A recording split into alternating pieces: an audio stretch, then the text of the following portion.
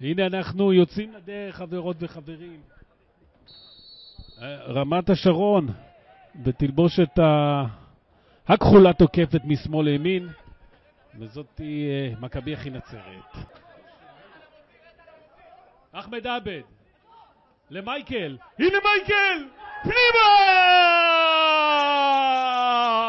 מומתז! מומתז! כיפאק יא מייקל! 1-0 מכבי אחי נסרה! יאללה חביבי! 1-0 כאן באיצטדיון הקרואסון מייקל, מייקל אומה שמה בקטנה שולח מול חסון 1-0 הנה כדור קרד לזכותה של רמת השרון, אנחנו בתוך הדקה 27, אורוסטבין, הקפטן, הקפטן בכחול, מחפש את בן חמו, 1-1! כן, כן, כן, 1-1!